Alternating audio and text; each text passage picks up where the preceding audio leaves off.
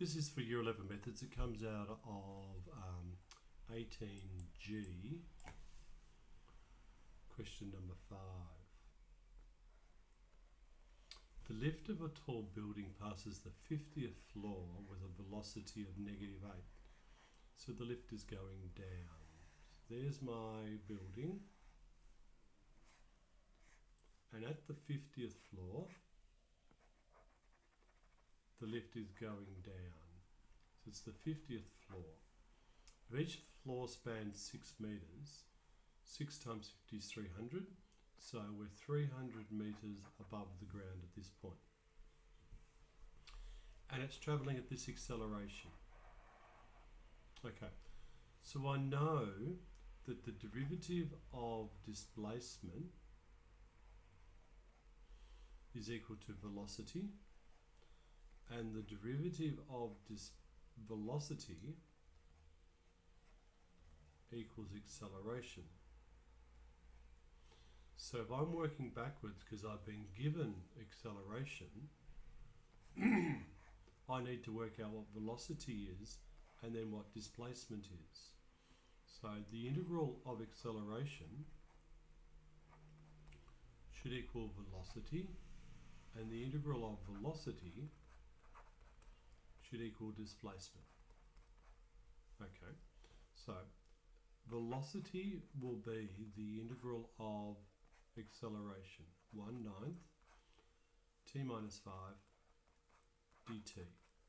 That's going to equal 1 ninth t squared minus 5t plus some constant c, which is going to be t squared on 9 minus 5t on 9 plus some constant t and I know that when t equals 0, v equals negative 8. Therefore, if negative 8 equals 0, c equals negative 8. So v of t should equal t squared on 9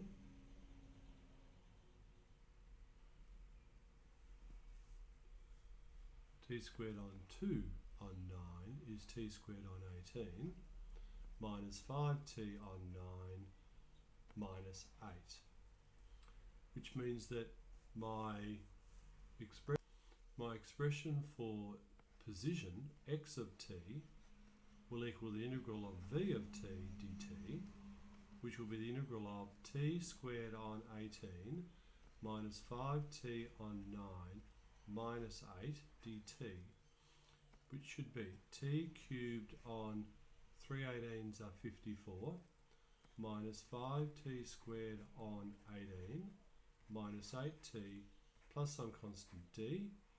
And I know that at time equals 0 the lift is 300 metres above the ground. So it's going to be plus 300 so I have an expression for velocity. I have an expression for displacement.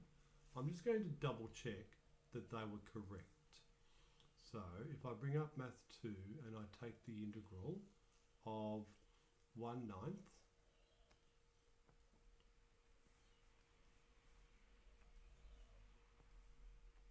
and I've got, I'm going to use x not t, so I've got x minus 5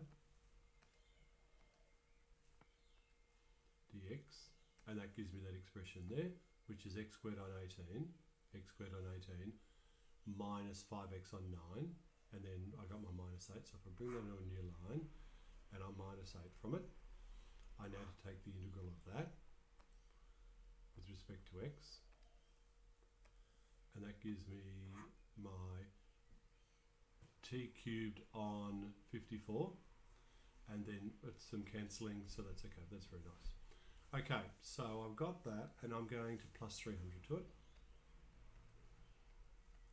that's my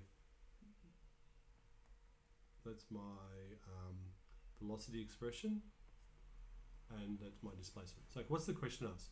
Uh, find the floor at which the lift will stop. The lift will stop when velocity equals zero. So if I could find out when velocity equals zero, t equals whatever, then I can take that t and sub it into here which will give me where the person is. So my expression for velocity is this expression here. So if I copy that into a new line, paste it, and I want to set it equal to zero, so I don't have to type equals zero, it will assume it's equal zero. Solve for x, okay. Time negative 8 or 18, I'm going to take 18. So it's going to be stopping at time equals 18. So I take this expression here, which is my position vector, and I make x equal to 18. And that tells me the person is at 174. So if I take that number and I divide it by 6, that should tell me what floor they're on, and they're on the 29th floor. So I had to anti-differentiate my acceleration to give me velocity, and I had to anti-differentiate my velocity to give me position. It will stop when the velocity is zero, so I made that equal to zero and solved for t. Then I put that t into my position vector to find out where they were, and they were 174 metres above the ground, which is the 29th floor.